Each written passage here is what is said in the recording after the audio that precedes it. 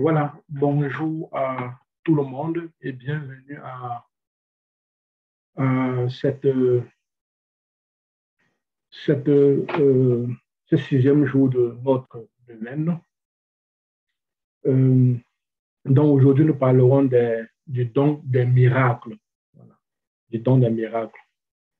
Alors, je vais partager mon écran et nous allons commencer.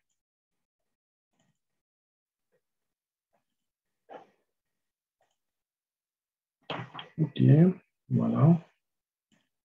Donc, nous poursuivons notre thème, voilà, comprendre et s'approprier les neuf charismes, neuf dons de l'Esprit Saint dont nous parlerons aujourd'hui, voilà, du sixième don, le don des miracles.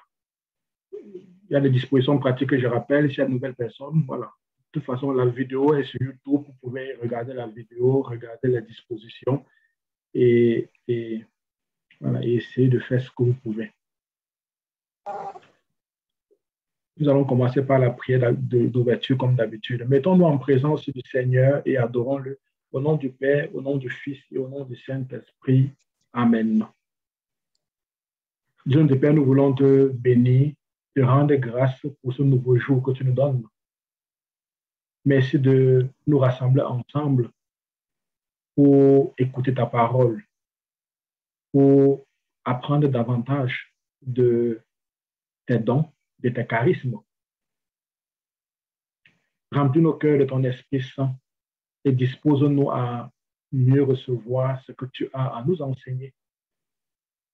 Et donne-nous les mots justes, les images justes, les exemples justes pour pouvoir transmettre à nos frères, à nos soeurs, transmettre à tes enfants ces mystères que sont tes charismes et tes dons, spécialement le don de miracles.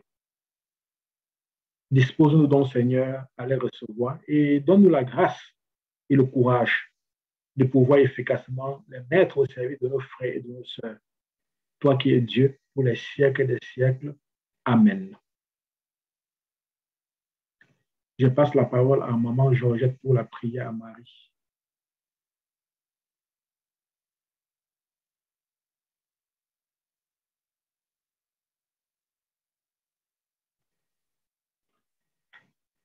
Est-ce que maman Georgette est connectée?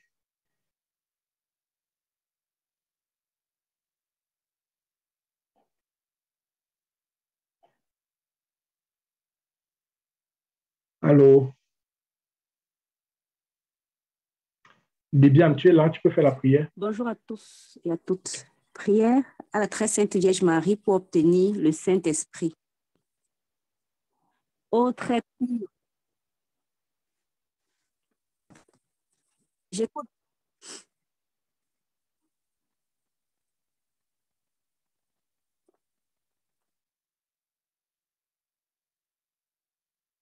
On ne t'entend pas, je pas, ton téléphone a un souci.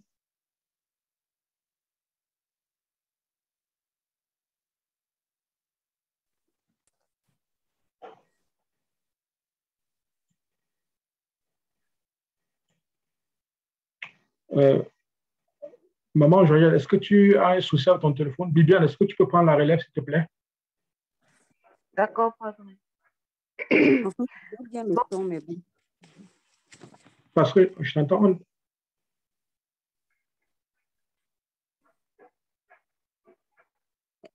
Est-ce qu'on m'écoute? Oui, maintenant on t'écoute, maman. D'accord, merci. Donc, priez à la très sainte Vierge Marie pour obtenir le Saint-Esprit. Nous prions. Ô très pure Vierge Marie, vous dont l'Esprit Saint, dans votre immaculée conception, fut un tabernacle élu de la divinité, priez pour nous.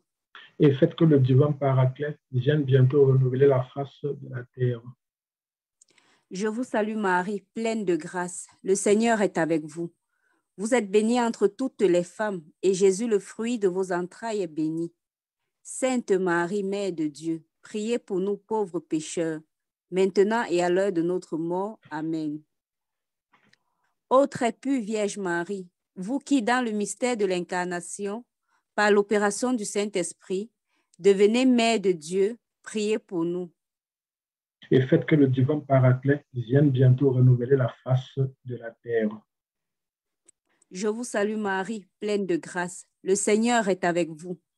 Vous êtes bénie entre toutes les femmes, et Jésus, le fruit de vos entrailles, est béni. Sainte Marie, Mère de Dieu, priez pour nous pauvres pécheurs, maintenant et à l'heure de notre mort. Amen. Ô très pure Vierge Marie, vous qui étant en oraison avec les apôtres au Cénacle, fûtes comblés du Saint-Esprit, priez pour nous. Et faites que le divin Paraclet vienne bientôt renouveler la face de la terre. Je vous salue Marie, pleine de grâce. Le Seigneur est avec vous. Vous êtes bénie entre toutes les femmes, et Jésus, le fruit de vos entrailles, est béni. Sainte Marie, Mère de Dieu, priez pour nous pauvres pécheurs, maintenant et à l'heure de notre mort. Amen. Envoyez votre esprit et nous aurons une création nouvelle. Et vous renouvellerez la face de la terre. Amen. Amen. Bibiane, tu as la parole. Demeurons en présence du Seigneur. Dieu, viens à notre aide. Seigneur, à notre secours. La gloire soit rendue au Père, au Fils et au Saint-Esprit. Comme il était au commencement, maintenant et toujours, et dans tous les siècles et des siècles. Amen. Je crois en Dieu, le Père Tout-Puissant, Créateur du ciel et de la terre et en Jésus-Christ, son Fils unique, notre Seigneur, qui a été conçu du Saint-Esprit, est né de la Vierge Marie, a souffert sous Ponce Pilate, a été crucifié, est mort, a été enseveli, est descendu aux enfers, est ressuscité des morts, le troisième jour est monté aux cieux, est assis à la droite de Dieu le Père Tout-Puissant, d'où il viendra juger les vivants et les morts. Je crois au Saint-Esprit, à la Sainte Église catholique, à la communion des saints, à la rémission des péchés, à la résurrection de la chair et à la vie éternelle. Nous faisons ces trois Ave Maria en l'honneur de la Sainte Trinité. Je vous salue Marie, pleine de grâce. Le Seigneur est avec vous. Vous êtes bénie entre toutes les femmes et Jésus, le fruit de vos entrailles, est béni. Sainte Marie, Mère de Dieu, priez pour nous pauvres pécheurs, maintenant et à l'heure de notre mort. Amen. Je vous salue Marie, pleine de grâce. Le Seigneur est avec vous. Vous êtes bénie entre toutes les femmes et Jésus, le fruit de vos entrailles est béni. Sainte Marie, Mère de Dieu, priez pour nous pauvres pécheurs, maintenant et à l'heure de notre mort. Amen. Je vous salue Marie, pleine de grâce. Le Seigneur est avec vous. Vous êtes bénie entre toutes les femmes, et Jésus, le fruit de vos entrailles, est béni. Sainte Marie, Mère de Dieu, priez pour nous pauvres pécheurs, maintenant et à l'heure de notre mort. Amen. Premier mystère. Jésus est conçu dans le sein de la Vierge sous l'action du Saint-Esprit. Notre Père qui es aux cieux, que ton nom soit sanctifié, que ton règne vienne, que ta volonté soit faite sur la terre comme au ciel. Donne-nous aujourd'hui notre pain de ce jour. Pardonne-nous nos offenses comme nous pardonnons aussi à ceux qui nous ont offensés. Et ne nous laisse pas entrer en tentation, mais délivre-nous du mal. Je vous salue Marie, pleine de grâce. Le Seigneur est avec vous. Vous êtes bénie entre toutes les femmes, et Jésus, le fruit de vos entrailles est béni. Sainte Marie, Mère de Dieu, priez pour nous pauvres pécheurs, maintenant et à l'heure de notre mort. Amen. Viens, Saint-Esprit, remplis les cœurs de tes fidèles. Et allume en eux le feu de ton amour. Viens, Saint-Esprit, remplis les cœurs de tes fidèles. Et allume en eux le feu de ton amour. Viens, Saint-Esprit, remplis les cœurs de tes fidèles. Et allume en eux le feu de ton amour. Viens, Saint-Esprit, remplis les cœurs de tes fidèles. Et allume en eux le feu de ton amour. Viens, Saint-Esprit, remplis les cœurs de tes fidèles. Et allume en eux le feu de ton amour. Viens, Saint-Esprit, remplis les cœurs de tes fidèles. Et allume en eux le feu de ton amour. Viens, Saint-Esprit, remplis les cœurs de tes fidèles. Et allume en eux le feu de ton amour. La gloire soit rendue au Père, au Fils et au Saint-Esprit, comme il était au commencement, maintenant et toujours, et dans tous les siècles des siècles. Amen. Deuxième mystère. Jésus est consacré Messie au Jourdain par le Saint-Esprit. Notre Père qui es aux cieux, que ton nom soit sanctifié, que ton règne vienne, que ta volonté soit faite sur la terre comme au ciel. Donne-nous aujourd'hui notre pain de ce jour. Pardonne-nous nos offenses comme nous pardonnons aussi à ceux qui nous ont offensés. Et ne nous laisse pas entrer en tentation, mais délivre-nous du mal. Je vous salue Marie, pleine de grâce. Le Seigneur est avec vous. Vous êtes bénie entre toutes les femmes, et Jésus, le fruit de vos entrailles, est béni. Sainte Marie, Mère de Dieu, priez pour nous pauvres pécheurs, maintenant et à l'heure de notre mort. Amen. Viens, Saint-Esprit, remplis les cœurs de tes fidèles. Et allume en eux le feu de ton amour. Viens, Saint-Esprit, remplis les cœurs de tes fidèles. Et allume en eux le feu de ton amour. Viens, Saint-Esprit, remplis les cœurs de tes fidèles. Et allume en eux le feu de ton amour. Viens, Saint-Esprit, remplis les cœurs de tes fidèles. Et allume en eux le feu de ton amour. Viens, Saint-Esprit, remplis les cœurs de tes fidèles. Et allume en eux le feu de ton amour. Viens, Saint-Esprit, remplis les cœurs de tes fidèles. Et allume en eux le feu de ton amour. Viens, Saint-Esprit, remplis les cœurs de tes fidèles. Et allume en eux le feu de ton amour.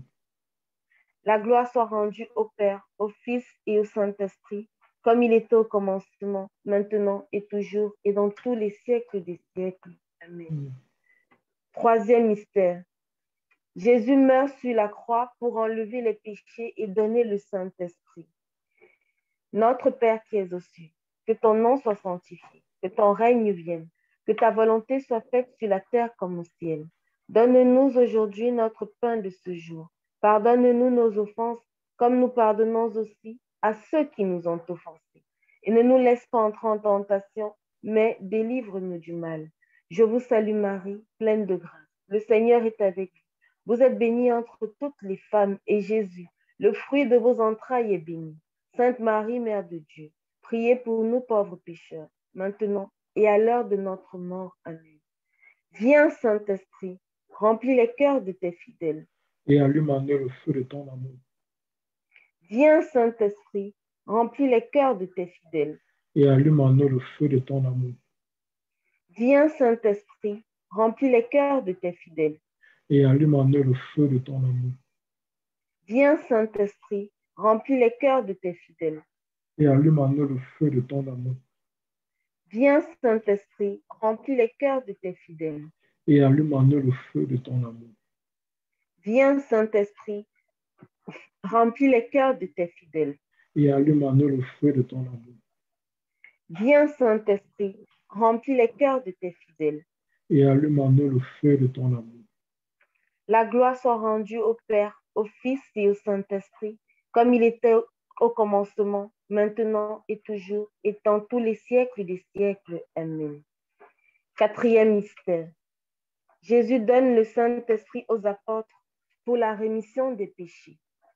Notre Père qui es aux cieux, que ton nom soit sanctifié, que ton règne vienne, que ta volonté soit faite sur la terre comme au ciel. Donne-nous aujourd'hui notre pain de ce jour. Pardonne-nous nos offenses, comme nous pardonnons aussi à ceux qui nous ont offensés. Et ne nous laisse pas entrer en tentation, mais délivre-nous du mal. Je vous salue Marie, pleine de grâce. Le Seigneur est avec vous. Vous êtes bénie entre toutes les femmes, et Jésus, le fruit de vos entrailles, est béni. Sainte Marie, Mère de Dieu, priez pour nous pauvres pécheurs, maintenant et à l'heure de notre mort. Amen. Viens, Saint-Esprit, remplis les cœurs de tes fidèles. Et allume en eux le feu de ton amour. Viens, Saint-Esprit, remplis les cœurs de tes fidèles. Et allume en eux le feu de ton amour. Viens, Saint-Esprit, remplis les cœurs de tes fidèles. Et allume en eux le feu de ton amour. Viens, Saint-Esprit, remplis les cœurs de tes fidèles. Et allume en eux le feu de ton amour. Viens, Saint-Esprit, remplis les cœurs de tes fidèles. Et allume en eux le feu de ton amour. Viens, Saint-Esprit, remplis les cœurs de tes fidèles. Et allume en eux le feu de ton amour. Viens, Saint-Esprit, remplis les cœurs de tes fidèles. Et allume en eux le feu de ton amour. La gloire soit rendue au Père, au Fils et au Saint-Esprit, comme il était au commencement, maintenant et toujours, et dans tous les siècles des siècles. Amen. Cinquième mystère. À la Pentecôte, le Père et Jésus répandent le Saint-Esprit. L'Église, constituée en puissance, s'ouvre à la mission dans le monde. Notre Père qui es aux cieux, que ton nom soit sanctifié, que ton règne vienne, que ta volonté soit faite sur la terre comme au ciel. Donne-nous aujourd'hui notre pain de ce jour. Pardonne-nous nos offenses, comme nous pardonnons aussi à ceux qui nous ont offensés. Et ne nous laisse pas entrer en tentation, mais délivre-nous du mal. Je vous salue Marie, pleine de grâce. Le Seigneur est avec vous. Vous êtes bénie entre toutes les femmes, et Jésus, le fruit de vos entrailles, est béni. Sainte Marie, Mère de Dieu, priez pour nous pauvres pécheurs, maintenant et à l'heure de notre mort. Amen. Viens, Saint-Esprit, remplis les cœurs de tes fidèles. Et allume en nous le feu de ton amour. Viens, Saint-Esprit, remplis les cœurs de tes fidèles. Et allume en nous le feu de ton amour. Viens, Saint-Esprit, remplis les cœurs de tes fidèles. Et allume en nous le feu de ton amour. Viens, Saint-Esprit, remplis les cœurs de tes fidèles. Et allume en nous le feu de ton amour. Viens, Saint-Esprit, remplis les cœurs de tes fidèles. Et allume en nous le feu de ton amour. Viens, Saint-Esprit, remplis les cœurs de tes fidèles. Et allume en nous le feu de ton amour. Viens, Saint-Esprit, remplis les cœurs de tes fidèles. Et allume en le feu de ton amour. La gloire soit rendue au Père, au Fils et au Saint-Esprit, comme il était au commencement, maintenant et toujours, et dans tous les siècles des siècles. Amen. Sixième mystère. Pour la première fois, le Saint-Esprit descend sur les païens. Notre Père qui es aux cieux, que ton nom soit sanctifié, que ton règne vienne, que ta volonté soit faite sur la terre comme au ciel. Donne-nous aujourd'hui notre pain de ce jour. Pardonne-nous nos offenses, comme nous pardonnons aussi à ceux qui nous ont offensés. Et ne nous laisse pas entrer en tentation, mais délivre-nous du mal. Je vous salue Marie, pleine de grâce. Le Seigneur est avec vous. Vous êtes bénie entre toutes les femmes, et Jésus, le fruit de vos entrailles, est béni. Sainte Marie, Mère de Dieu, priez pour nous pauvres pécheurs, maintenant et à l'heure de notre mort. Amen. Viens, Saint-Esprit, remplis les cœurs de tes fidèles. Et allume en nous le feu de ton amour. Viens, Saint-Esprit, remplis les cœurs de tes fidèles. Et allume en nous le feu de ton amour. Viens, Saint-Esprit, remplis les cœurs de tes fidèles. Et allume en nous le feu de ton amour. Viens, Saint-Esprit, remplis les cœurs de tes fidèles. Et allume en nous le feu de ton amour. Viens, Saint-Esprit, remplis les cœurs de tes fidèles. Et allume en nous le feu de ton amour. Viens, Saint-Esprit, remplis les cœurs de tes fidèles. Et allume en nous le feu de ton amour. Viens, Saint-Esprit, remplis les cœurs de tes fidèles. Et allume en nous le feu de ton amour. La gloire soit rendue au Père, au Fils et au Saint-Esprit, comme il était au commencement, maintenant et toujours, et dans tous les siècles des siècles. Amen. Septième mystère. Le Saint-Esprit guide l'Église de tous les temps en lui donnant ses dons et ses charismes. Notre Père qui es aux cieux, que ton nom soit sanctifié, que ton règne vienne, que ta volonté soit faite sur la terre comme au ciel. Donne-nous aujourd'hui notre pain de ce jour. Pardonne-nous nos offenses, comme nous pardonnons aussi à ceux qui nous ont offensés. Et ne nous laisse pas entrer en tentation, mais délivre-nous du mal. Je vous salue Marie, pleine de grâce. Le Seigneur est avec vous. Vous êtes bénie entre toutes les femmes, et Jésus, le fruit de vos entrailles, est béni. Sainte Marie, Mère de Dieu, priez pour nous pauvres pécheurs, maintenant et à l'heure de notre mort. Amen. Viens, Saint-Esprit, remplis les cœurs de tes fidèles. Et allume en eux le feu de ton amour. Viens, Saint-Esprit, remplis les cœurs de tes fidèles. Et allume en eux le feu de ton amour. Viens, Saint-Esprit, remplis les cœurs de tes fidèles. Et allume en eux le feu de ton amour. Viens, Saint-Esprit, remplis les cœurs de tes fidèles. Et allume en eux le feu de ton amour. Viens, Saint-Esprit, remplis les cœurs de tes fidèles. Et allume en eux le feu de ton amour. Viens, Saint-Esprit, remplis les cœurs de tes fidèles. Et eux le feu de ton amour. Viens, Saint-Esprit, remplis les cœurs de tes fidèles. Et allume en eux le feu de ton amour. La gloire soit rendue au Père, au Fils et au Saint-Esprit, comme il était au commencement, maintenant et toujours, et dans tous les siècles des siècles. Amen. Nous prions.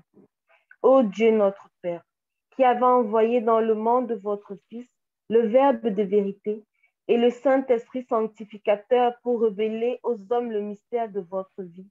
Faites que dans la profession de la vraie foi, nous reconnaissons la gloire de la Trinité et adorions l'unique Dieu en trois personnes. Faites briller sur nous le don de votre salut et versez en nos cœurs un souffle nouveau d'amour pour vous. Par le Christ notre Seigneur. Amen. Amen. Amen. Voilà, donc nous passons à l'enseignement. OK, donc le thème de ce matin, c'est le don des miracles ou le don, on aussi dit le don des miracles. Dans les deux versions, ça dépend des traductions, les deux versions sont utilisées, mais en grec, c'est vrai que miracle est au pluriel. Donc, je vais, comme d'habitude, arrêter mon écran, le partage et puis on va faire la conférence. OK. Donc, euh, vous pouvez prendre de quoi noter, de quoi écrire si vous voulez. Alors, dans ce matin, nous voyons le dernier, le dernier don de puissance, donc qui est le don des miracles. Simplement pour nous rafraîchir un peu la mémoire, ça c'est le sixième don que nous, que nous, que nous allons voir ce matin. Dans les trois premiers, c'était les dons de révélation, la parole de sagesse, la parole de connaissance et le discernement des esprits. Voilà les trois premiers que nous avons vus les trois premiers jours. Ensuite, nous sommes passés au don de puissance, à savoir, n'est-ce pas, le don de foi, Ensuite, le don de, les, dons de guérison, puisque c'est au pluriel. Et enfin, aujourd'hui, nous allons voir le dernier don de puissance, qui est le don des miracles. Et à partir de demain, nous allons commencer dans les dons vocaux. Il y en a trois. La prophétie, le parler en langue et l'interprétation du parler en langue. Donc, ça, ça sera pour les trois prochains jours, qui sont les trois derniers jours de la, de la neuvaine. Donc, pour revenir donc au thème d'aujourd'hui, qui est le don des miracles, donc, ça vous avez ça dans 1 Corinthiens chapitre 12, verset 10. donc, je rappelle simplement que vous savez que tous les neuf dons que j'ai cités là, c'est dans 1 Corinthiens chapitre 12, de 7 à 11. Voilà. Donc, si vous lisez le verset 7 à 11, vous allez voir tous les, tous les, tous les neuf dons. Et si vous regardez la vidéo qui est sur YouTube, où j'ai introduit un peu le thème de la, de vous allez voir tous ces, tous ces, tous ces neuf dons là-bas. OK. Alors, et je, je, aussi tout de suite signaler que les dons ne sont pas, comment je vais dire, il n'y a pas un mur entre les différents dons. Donc, ce n'est pas que chaque don est, ce n'est pas comme s'il y avait des murs. Donc, quelquefois, les dons s'imbriquent. Voilà, quelquefois, ils sont ensemble. Voilà. Donc, parfois, pour faire une, pour opérer une guérison, on peut trois, quatre dons à la fois. Voilà. Par exemple, sagesse et, sagesse connaissance et la foi et, voilà, et le miracle. Donc, plus de dons parfois viennent ensemble. il ne faut pas non plus les séparer comme si c'était des choses euh, qui ne peuvent pas aller ensemble. Donc, en général, le don de guérison et le don des miracles sont intimement liés. Hein, souvent, ça va ensemble. Quelquefois, on dit, on dit guérison miraculeuse. guérison miraculeuse. Donc, en général, a un miracle, souvent aussi, il y a, il guérison. Mais on fait la distinction parce que les deux sont liés mais il y, a, quand même une différence entre, le, entre les dons de guérison et les dons de miracles. Voilà. Et ce que j'aimerais maintenant citer, c'est quelques, quelles sont quelques différences. J'aimerais maintenant mentionner quelques différences. Alors, la première des différences, c'est que souvent les, guérisons sont graduelles ou peuvent être graduelles. Ça veut dire quoi? Ça veut dire que la guérison peut venir progressivement on peut prier sur quelqu'un qui a, il avait une douleur, la douleur baisse un peu, mais la douleur n'est pas complètement partie. Mais peut-être un ou deux jours après, la douleur part complètement. Donc, donc quelquefois, vous priez même, la personne ne ressent rien, mais c'est un ou deux jours après qu'elle se rend compte qu'elle est guérie. Donc, la guérison peut être euh, graduelle, c'est-à-dire progressive. Voilà. Donc, une guérison, une guérison peut prendre des heures, des jours, et pourquoi même pas des semaines. Et la guérison s'opère. Souvent aussi, les guérisons sont invisibles. Dans la plupart des cas, c'est invisible. C'est-à-dire que euh, c'est vrai que les miracles aussi peuvent être invisibles. Ça dépend de quel organe, ça dépend de quel organe est guéri. Voilà. Mais il y a aussi des, guérisons euh, miraculeuses qui sont très visibles. En général, ça dépend des organes. Mais dans la plupart des cas, quand même, les guérisons sont invisibles. Pas un organe, quand par exemple quelqu'un est guéri de, c'est pas moi, d'une maladie, souvent, euh, il faut qu'elle aille à l'hôpital faire quand même des tests. On ne voit, on ne voit pas tout de suite. Alors que dans, la plupart des, guérisons miraculeuses, on peut le voir, quelqu'un qui par exemple, qui est aveugle, qui ne voit pas, qui voit directement, voilà, vous savez qu'il voit parce que vous pouvez faire le test pour voir est-ce qu'en mettant un objet devant, il dit ce que c'est et tout le reste. Donc, euh, souvent, les guérisons sont invisibles. Euh, voilà. Parce que ça dépend aussi de l'endroit du corps euh, voilà, qui, qui, qui, est, guéri. Quoi. Parce qu'il y, a des parties du corps qui ne sont pas visibles à l'œil nu. Donc, il faut aller faire des examens pour attester que la guérison, effectivement, a eu lieu. Et souvent, les, les, miracles, quant à eux, sont visibles. Dans la plupart des cas, souvent, c'est visible. Voilà. Donc, d'une manière ou d'une autre, on peut constater un miracle. Quand un miracle est là, on peut constater quelqu'un qui ne faisait pas quelque chose du tout, quelqu'un qui ne marchait pas du tout, quelqu'un qui ne voyait pas du tout, quelqu'un qui n'entendait pas du tout. Vous voyez, voilà, on, se rend compte que la, la, la, personne entend ou la personne voit. Voilà. Et une autre différence, c'est que, euh, en général, fréquemment, mais pas, mais pas nécessairement, vous voyez, les miracles sont instantanés. C'est instantané. Donc, c'est-à-dire que le miracle se produit en une fraction de seconde. Le miracle est produit. C'est vrai qu'il y a des miracles qui, peuvent aussi prendre du temps. C'est vrai. On ne peut pas exclure. Mais en règle générale, le, le miracle, il est instantané. Il est instantané. Et j'aimerais aussi signaler que quand on dit guérison, euh, oui, on peut prier quelqu'un guéri, mais en général, dans la guérison, c'est quelque chose que la médecine peut soigner. En général, la guérison, ça veut dire que, euh, par exemple, on a mal à la tête, on prie la, le mot les mots de tête finissent, mais on pose ça à l'hôpital et on soigne ça, en général. la médecine peut soigner. Mais quand on parle de miracle, ça veut dire que c'est quelque chose que la médecine ne peut pas soigner. Si la médecine peut soigner, on ne parle plus de miracle. Donc, on parle souvent de miracle quand c'est quelque chose que la médecine, les médecins, la science ne peut pas expliquer, ne peut pas soigner. Vous voyez, par exemple, voilà. Donc, ça, c'est aussi une des, une des, une, des, une, des, grosses différences. Et comme je dis, parfois on parle de guérison miraculeuse, parce que quelque chose, la personne est guérie, mais c'est quelque chose de miraculeux parce que c'est quelque chose que la science ne peut pas encore soigner. Par exemple, si quelqu'un a, c'est pas moi, euh, aujourd'hui, on sait qu'on ne peut pas soigner le sida. Voilà, si vous êtes sur le VIH, on sait qu'on ne peut pas soigner ça. Voilà, donc, si quelqu'un prie, vous donne, quelqu'un prie sur vous, donne une parole de connaissance. Ça veut dire que tu es guéri. Voilà, tu peux aller faire des tests à l'hôpital, on voit que maintenant, tu es négatif. Ça veut dire que voilà, tu es guéri, vous voyez. Donc, mais on sait que là, c'est miraculeux parce que la science ne peut pas soigner ça. Donc là, on parle de miracle. Donc, on parle de miracle là où la science ne peut pas, ne, peut rien faire. Donc, c'est au-delà des capacités naturelles. Alors que la guérison, on peut bien guérir de quelque chose que la science pouvait soigner. Mais peut-être que ça aurait pris plus de temps. En général, donc. Alors, donc, je vais essayer de, donc, pour résumer un peu, je dirais que les guérisons peuvent être graduelles, ils sont souvent invisibles. Les miracles sont normalement visibles et fréquemment instantanés. Voilà. Et comme je dis, je dis, hein, ce n'est pas, il y a des nuances, ça dépend des cas, mais en général, la règle générale, c'est un peu ça. Et comme je dis aussi, les dons du Saint-Esprit, comme je l'ai dit tantôt, le tantôt, sont comme, euh, sont comme des couleurs de l'arc-en-ciel. Vous voyez différentes couleurs de l'arc-en-ciel, mais vous ne pouvez pas les séparer. Donc, c'est pour ça qu'il disait que les, charismes, les neuf charismes, quelque part, quelquefois, ils s'imbriquent, ou deux, trois s'imbriquent. Vous ne pouvez pas mettre un mur étanche entre, entre les charismes. Donc, les, voilà, donc les, voilà, les, les, les, différents dons s'imbriquent les uns dans les autres. Donc, souvent, les, les, guérisons se, se, fondent dans les miracles. Voilà. Et chacun d'eux, dons de guérison et dons de miracles, parfois aussi sont liés à, pas, à la, au don de foi. Au don de foi. Et n'oublions pas, comme je l'ai dit, que le don de foi est souvent, hier je le disais, que c'est comme un tremplin, c'est comme un catalyseur qui permet d'opérer les deux autres dons, à savoir la guérison, n'est-ce pas, et, et, et, les miracles. Donc, tout ça, souvent, c'est imbriqué.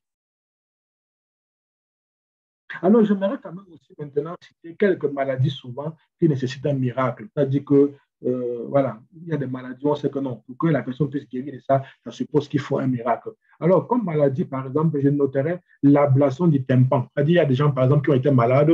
On va lire un cas tout à l'heure dans le livre du père Emilien Tardif. Un cas, il est un peu long, mais je pense qu'on a le temps de le lire parce que je vais essayer d'être bref. Voilà. Euh, une femme qui était malade, on a, on a vidé tout le tympan, on a tout raclé, mais elle a, elle, elle une guérison miraculeuse simplement à partir d'une parole de connaissance. Il bien dire une femme ici qui a tel âge, 28 ans, je crois, qui guérit de la, tympan gauche, voilà, et pas se met à entendre. Donc, mais là, un tympan qui est enlevé, vous ne pouvez pas acheter un tympan au marché remplacé. Donc, on ne peut pas remplacer un tympan, vous n'en trouverez même pas d'ailleurs.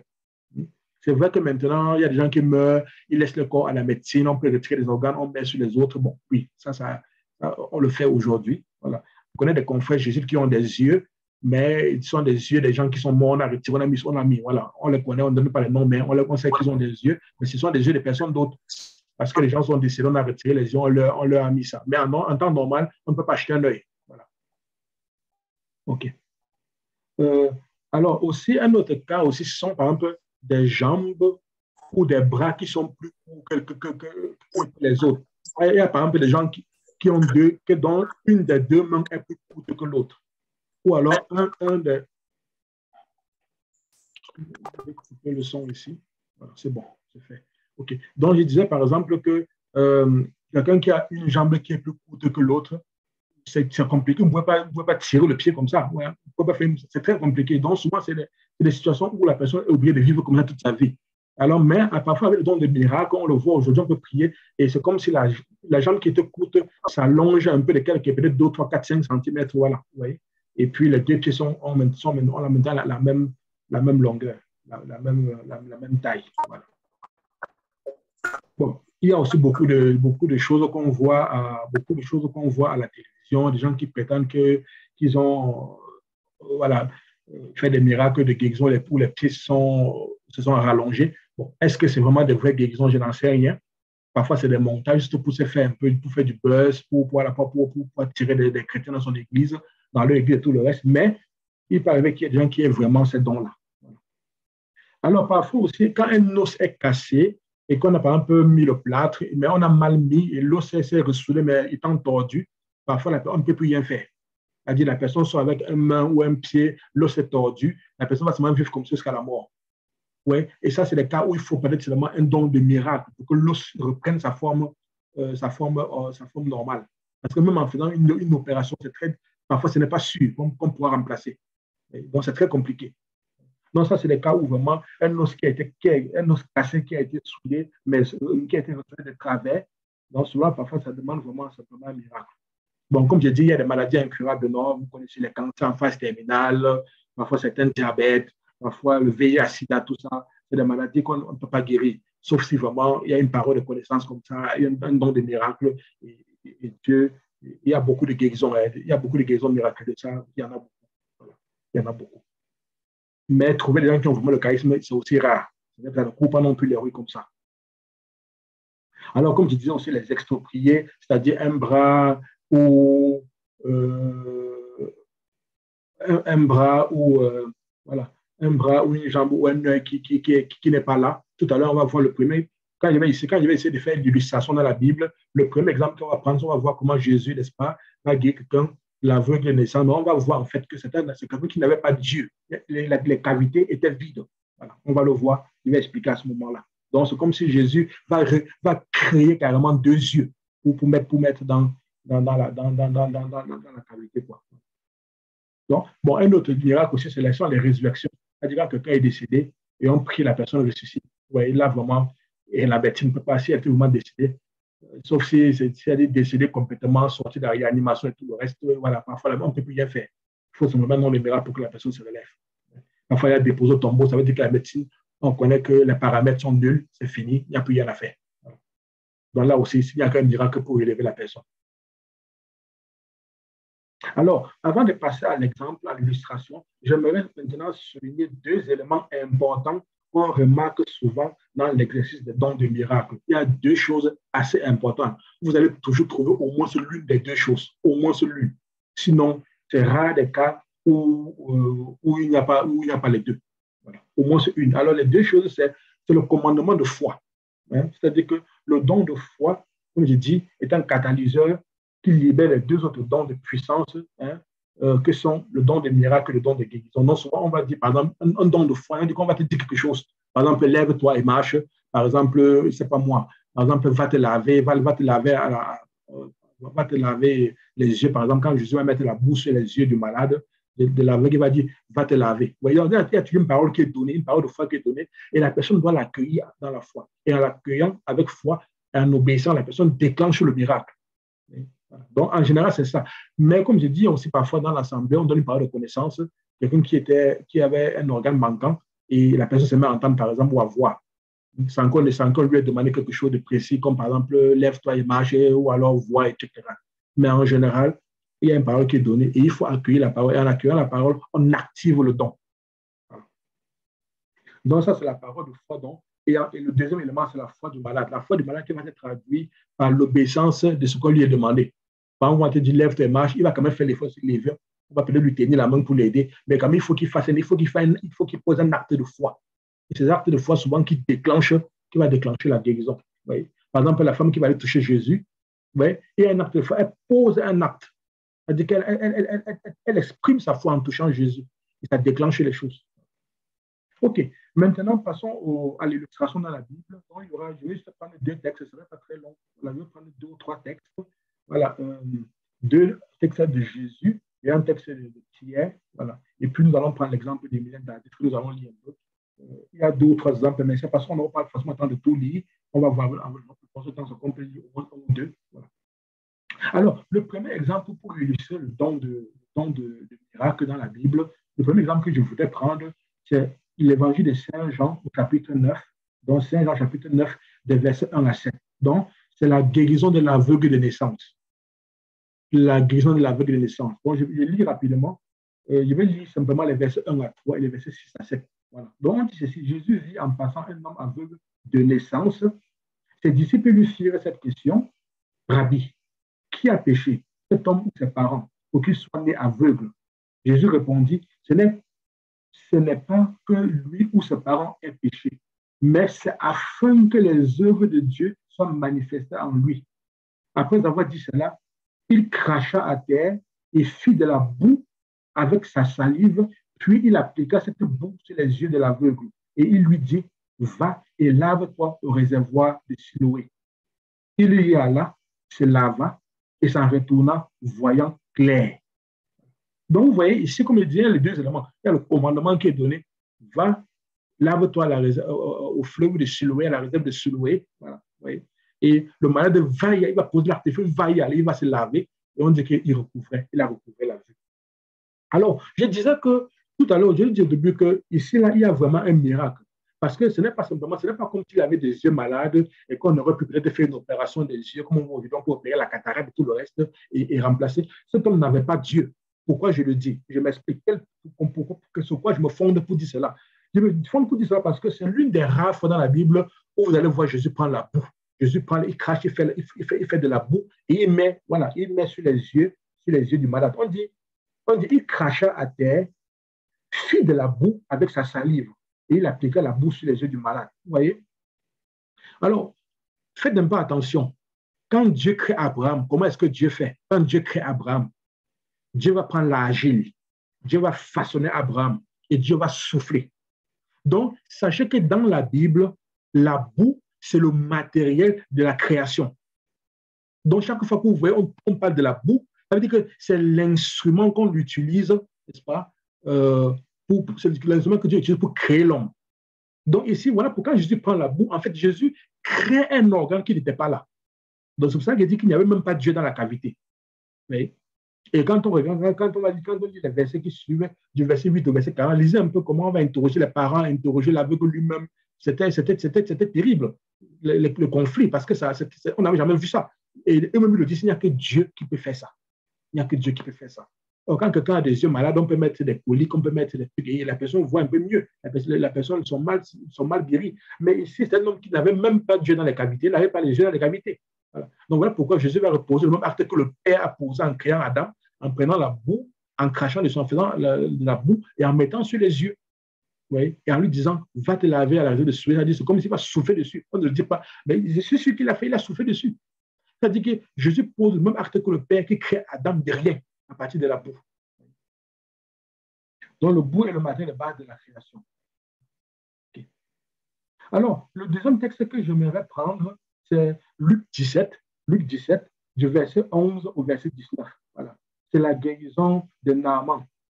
Non, c'est la guérison de, de, lépreux. Voilà, c'est la guérison de 10 lépreux. Mais j'aimerais vous demander, j'aimerais vous inviter à lire ce passage-là, le passage de Luc 17, de 11 à 19, lisez ça en mettant cela en relation avec 2 rois, chapitre 5, des versets 1 à 14. Là, maintenant, là-bas, c'est la guérison de Naaman par Élisée.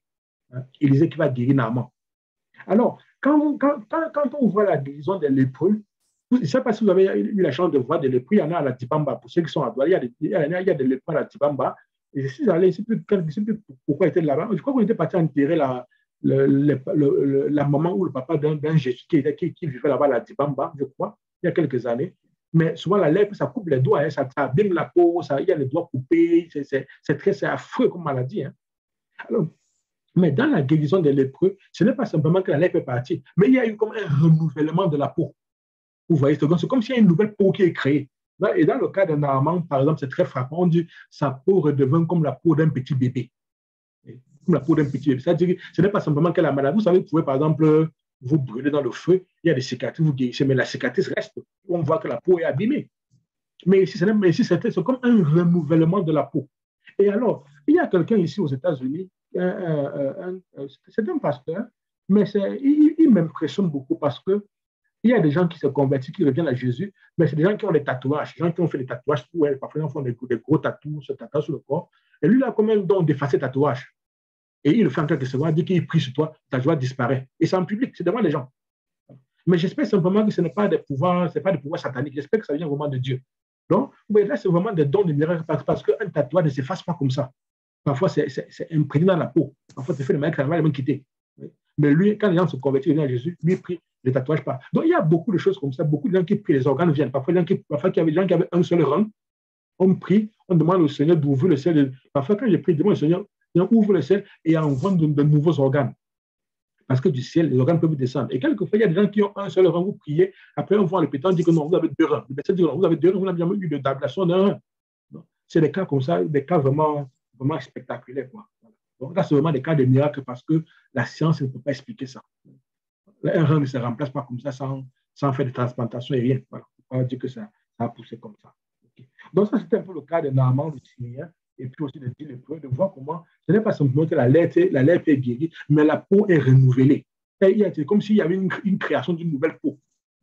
La peau devient comme la peau d'un bébé. C'est-à-dire que le bébé qui sort du sein maternel avec cette peau fraîche, rafraîchie, cette peau neuve et tout le reste. Alors, le dernier exemple que j'aimerais prendre, avant qu'on prenne quand, même, quelques temps sur les deux, euh, les deux, au moins deux témoignages père bien tardif. Alors, le dernier exemple, c'est. Je vais couper le son ici. Je vais couper ça moi de mon écran. Ok, c'est bon, c'est coupé.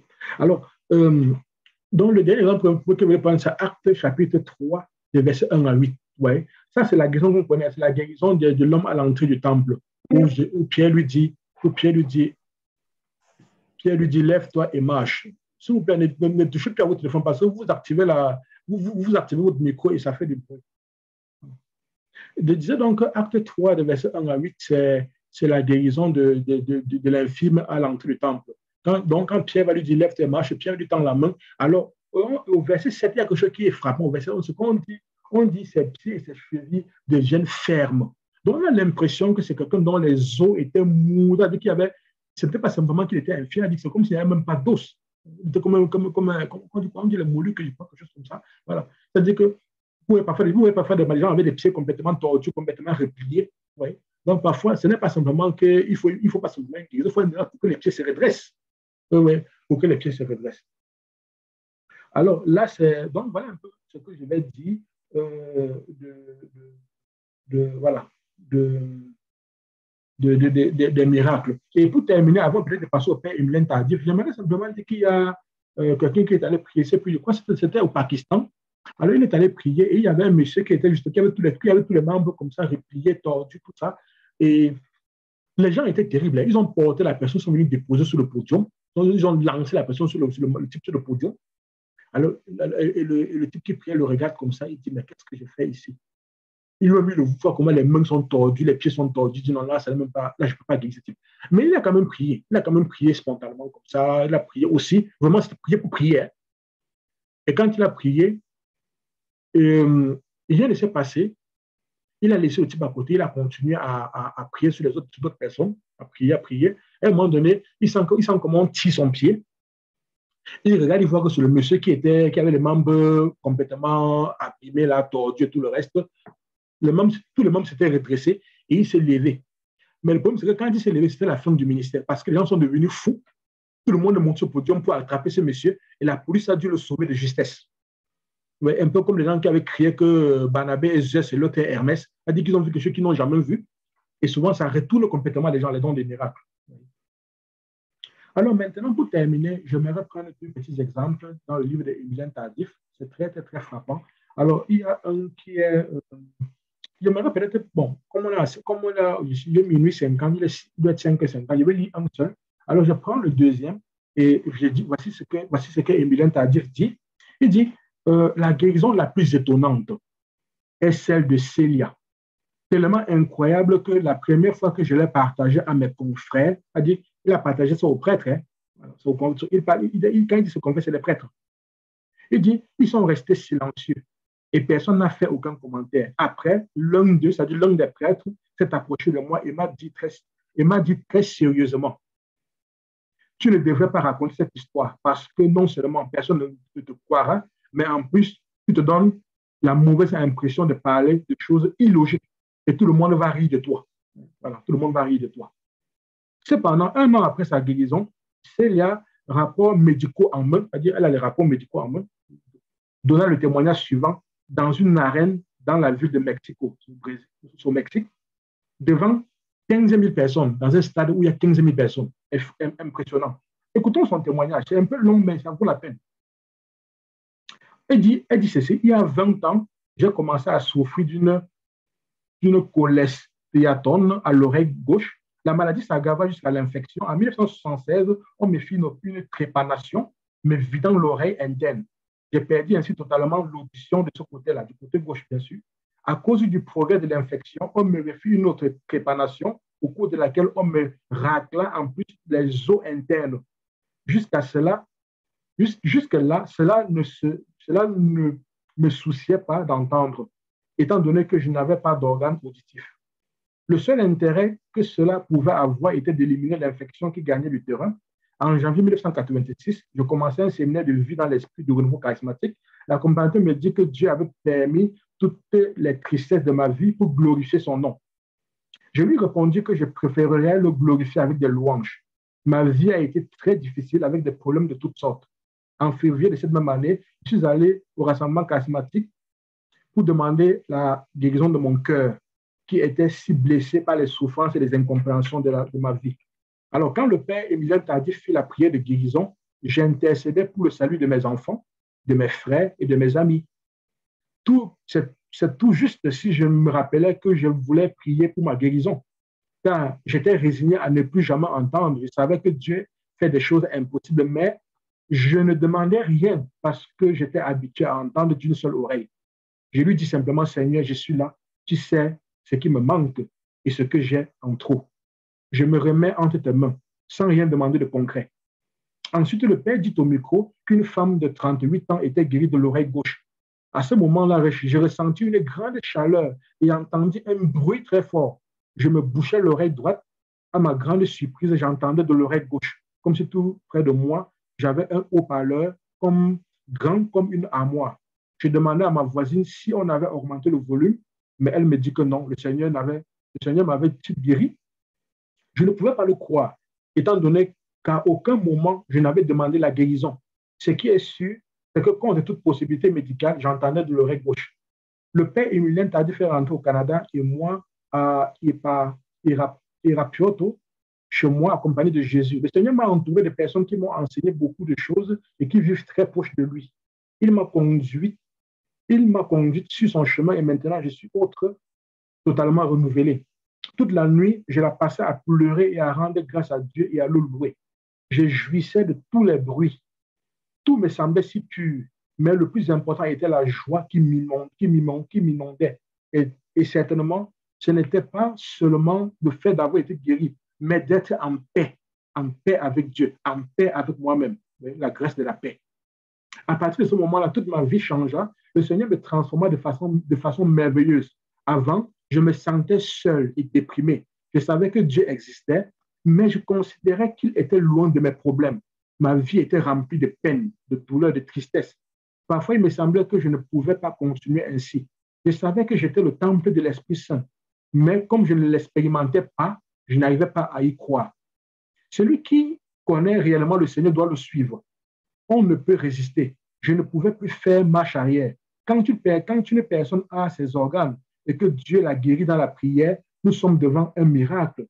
Mais si la personne n'a aucun organe auditif et qu'elle se remet à entendre, il ne s'agit plus alors seulement d'un miracle, mais d'un appel, d'un appel. Dieu donne une nouvelle direction à sa vie. C'est ainsi que je le compris. Quand Dieu appelle, on ne peut, on ne peut résister en argumentant je ne peux pas, je ne sais pas, j'ai peur.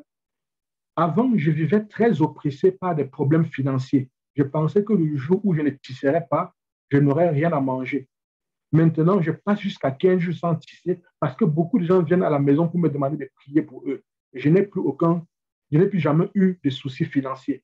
Quand les gens entendent ce que Dieu a fait dans ma vie, il y a des cœurs endurcis qui se convertissent au Seigneur. Certains, certains, certains pleurent et d'autres sont profondément touchés par lui. J'ai même eu la visite de prêtres et de religieuses qui souffrent beaucoup de leur manque de foi. Je leur dis que ce n'est pas de leur faute, que le problème est qu'ils n'ont pas expérimenté l'amour de Jésus et que c'est pour cela qu'ils ne le connaissent pas. Voilà ce qu'a dit une laïque qui dit à des prêtres qui ne connaissent pas, Jésus. Hein. C'est quand même terrible. Hein. Auparavant, je me demandais ce qui poussait les évangélisateurs à parler devant les micros et comment ils osaient prêcher devant tout le monde. Maintenant, j'ai vécu cette expérience de l'amour et de la puissance de Dieu. Je le comprends parfaitement. On ne peut taire ce que l'on a vécu. Une fois, un prêtre m'attaqua parce qu'il pensait que je n'avais jamais été malade de l'oreille et que je mentais. Mais je lui ai répondu, Père, à Dieu, rien n'est impossible. Voilà. Il faut aussi enseigner aux prêtres que Dieu n'est qu'il Dieu, rien n'est impossible. Voilà ce qu'on enseigne aux prêtres. C'est quand même triste. Deux ans ont passé depuis ma guérison. Les médecins m'ont refait les tests d'audition et ne s'explique pas comment je peux entendre. Maintenant, mon problème n'est pas d'entendre, mais de savoir comment proclamer au monde entier que nous avons un Dieu qui est Père et que puisqu'il nous a donné son Fils unique, comment ne nous donnera-t-il pas tout le reste? Alors, je m'arrête là. Je ne peux pas, il n'y a plus de temps pour commenter, mais c'est impressionnant, c'est vraiment bouleversant ce qui est dit. Il y a d'autres témoignages qui sont bouleversants. Et ils sont laïcs, qui qui donner la foi aux prêtres. C'est quand même terrible. Voilà. Bon, anyway.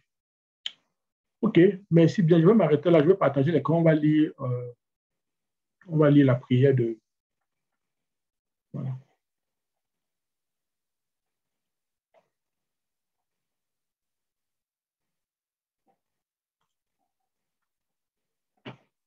OK, euh, Bidiane, tu peux lire la prière, s'il te plaît? Nous prions. Dieu notre Père, toi qui nous as tout donné en Jésus et qui as fait naître l'Église dans le souffle de l'Esprit Saint, donne-nous les neuf dons ou charismes de l'Esprit Saint que sont la parole de sagesse, la parole de connaissance, la foi, le don de guérison, le don des miracles, la prophétie, le discernement des esprits, la pluralité des langues et l'interprétation des langues. Seigneur, quand tu mets en l'homme tes dons, tu illumines son cœur et tu l'inscris. Rends-nous dociles à ton esprit pour apprécier ce qui est juste et donne-nous d'éprouver toujours le réconfort de ta présence. Donne-nous spécialement en ce jour le don de miracle, afin que nous prions efficacement pour les infirmités, les maladies incurables et obtenions de toi la guérison. Amen. Amen.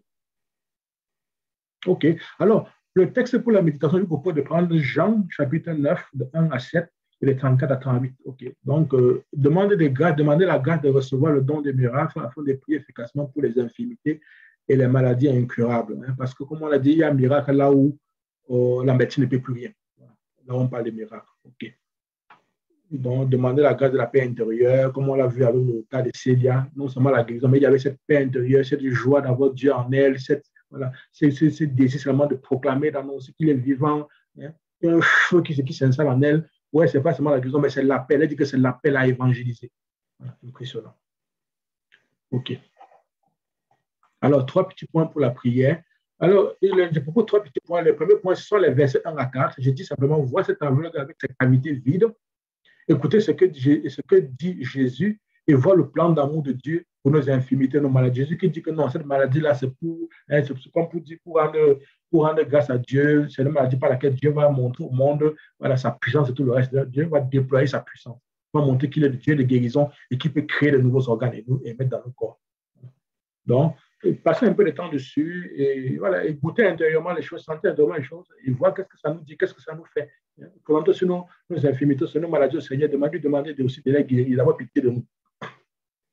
Ensuite, le verset 5 et 7, on voit comment Jésus répète le geste de la création à travers la bouffe et comment la foi et l'obéissance de l'aveugle activent le miracle. Demandant à Dieu d'augmenter notre foi, de nous guérir et de nous donner le don des de miracles.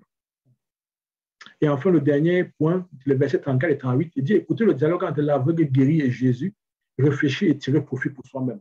Qu'est-ce que cela nous dit? Qu'est-ce que cela fait en nous? Qu'est-ce que, voilà. Jésus lui dit ta foi, ta foi t'a sauvé, ta foi t'a sauvé. Donc, proclamer notre foi en Jésus-Christ également. Voilà. Et ce n'est que des exemples, ce n'est que des, propositions pour aussi lire le texte et vous arrêter là où ça vous touche, hein, ça, là où il y du goût. Parfois, il y en a qui peuvent se mettre à pleurer parce qu'il y a, cette consolation qui vient, ils sentent que Dieu est présent, Dieu les parle aussi. Hein. N'hésitez pas, si vous entendez du goût sur un mot, restez sur le mot jusqu'à ce que vous, épuisiez la joie que vous ressentez. L'acte de foi, et vous terminez par la litanie à l'Esprit Saint. OK. Donc, la relecture de la prière, comme tous les jours, réalisez un peu la prière à la fin de la prière. la prière peut durer, disons, environ 15-20 minutes. Prenez même 5 minutes pour relire un peu la prière, euh, etc. Et puis, la relecture de la journée aussi, comme vous savez, voilà, pour relire la journée, avec les six points que je propose là. OK, je passe, je passe après le Georgette pour euh, la prière, la consécration au Saint-Esprit. Nous prions. Saint-Esprit, Esprit de Jésus et du Père, vous voulez habiter en nous, pauvres pécheurs, pour nous transformer en temple de votre gloire. Venez, Esprit de la communion divine. Venez et remplissez tout notre être. Venez unissez-nous à Jésus crucifié et ressuscité, pour être avec lui et avec tous nos frères et sœurs un seul corps, pour être avec lui un fils et des filles bien-aimés du Père vous êtes donnés à nous sans mesure. Humblement, nous aussi, nous nous donnons et nous nous consacrons à vous.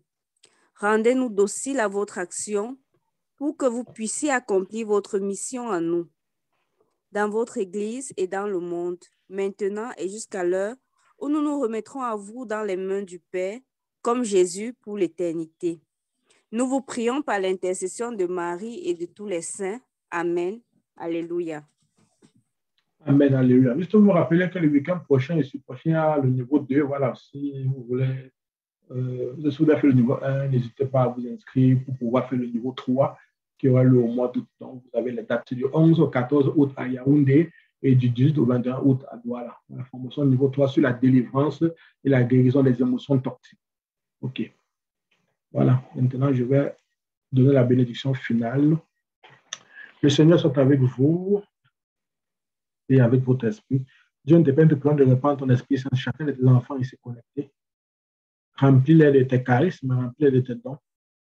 Donne-leur spécialement ce don de miracle afin qu'ils puissent prier et tes enfants malades obtiennent de toi les miracles, car rien n'était impossible. Seigneur, recouvre chacun de ton sang, précède la tête aux autres, recouvre les membres de nos familles, ceux qui ont des enfants, recouvre les enfants, recouvre les frères, nos frères, nos soeurs, nos parents, voilà. recouvre nos lieux de travail, recouvre tous nos biens, les biens euh, les biens mobiles et immobiles, voilà. Protège-nous, qu'à travers ce sang, nous soyons protégés de toute maladie, tout accident, toute mort prématurée, toi qui es Dieu pour les siècles des siècles. Amen. Le Seigneur soit avec vous et avec votre esprit. Que Dieu Tout-Puissant, vous bénisse, lui qui est Père, lui qui est Fils, lui qui est Saint-Esprit. Amen. Euh, quelqu'un écrit là-bas, quand la, quand, la formation à Maroua, on ne sait pas encore, je n'ai pas prévu de formation à Maroua. J'ai été guéri de l'asthme lors d'un chemin de croix alors que j'étais étudiant à temps. Gloire à Dieu. Bien, le chemin de croix peut guérir, oui, c'est vrai. Pourquoi pas? Pas de formation à pour le moment. Nous ne pensons pas encore, peut-être ça viendra un jour. En tout cas, bonne journée à vous et union de prière. Voilà.